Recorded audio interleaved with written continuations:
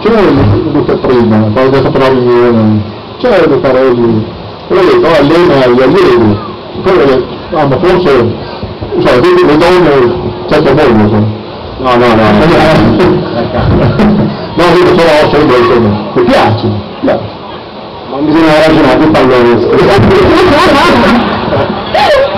Però, eh, allora, quando è stato il salutami? No, ma qua. Eh, eh, te lo dico così, la segnalazione, guarda, la segnale il pallone.